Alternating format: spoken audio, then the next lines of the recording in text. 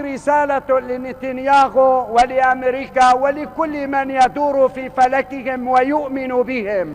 نحن عندما قصفتنا إسرائيل كنا نرقب بعيوننا إلى السماء ونتفرج ما يحدث في الآفاق. لم ينزل مواطن واحد إلى ملجأ. لم نفكر بخوف ابدا. أن أعداء هذا الوطن الجبناء والماكرين قد اعادوا الكرة أو يحاولون إعادة الكرة من خلال تفجير العبوات الناسفة هنا وهناك.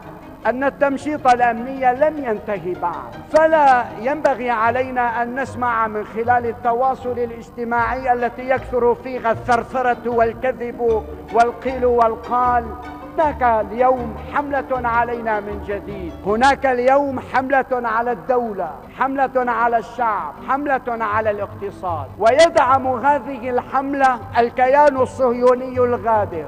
إن قوات دفاعنا الجوية الذين ترفع لهم العمائم قد تصدوا للعدوان الصهيوني الغاشم.